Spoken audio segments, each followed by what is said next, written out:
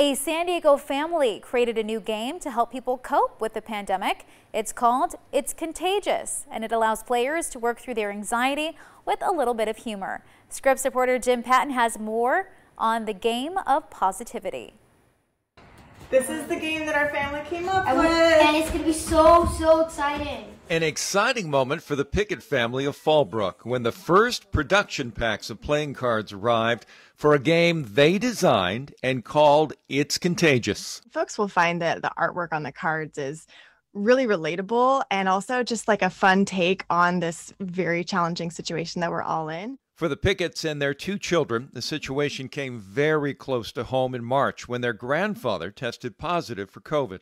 His case ended up becoming quite severe, um, putting him into the ICU. The family coped in part just by being together and playing games.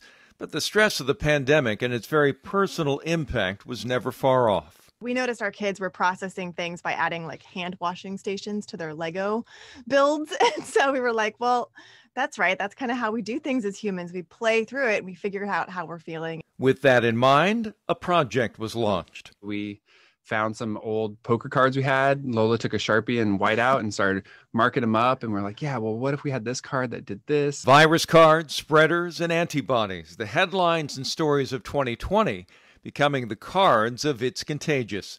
Remember the cafe in Germany requiring patrons to wear pool noodle hats for social distancing? So we thought, well, there's a card. That's hilarious. And so we have things like that. We have home haircut. We have the um, TP shortage, which we're going through again. Yeah, like Zoom birthday parties. And and things like antibodies become superheroes. They become like a super power card in the deck, just like they do in real life. And the game itself becoming a part of real life as the Picketts have invested in real artwork and production in the hope that It's Contagious catches on. We found that play is one of the fastest ways to processing and moving through some of that trauma and that experience. Jim Patton, ABC 10 News.